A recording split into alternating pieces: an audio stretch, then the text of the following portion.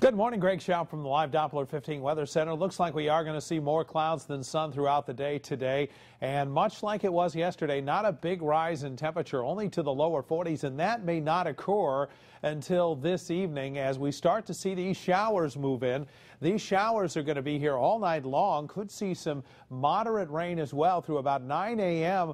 on Friday morning with temperatures actually rising overnight and through the day tomorrow. Highs tomorrow going to be up into the 50s, and it looks like we are going to continue to see that rise in temperatures as we head towards the weekend as well, as Saturday's high temperatures could be close to 60 degrees. Take a look at that, and we'll see upper 50s with a chance of showers on Sunday.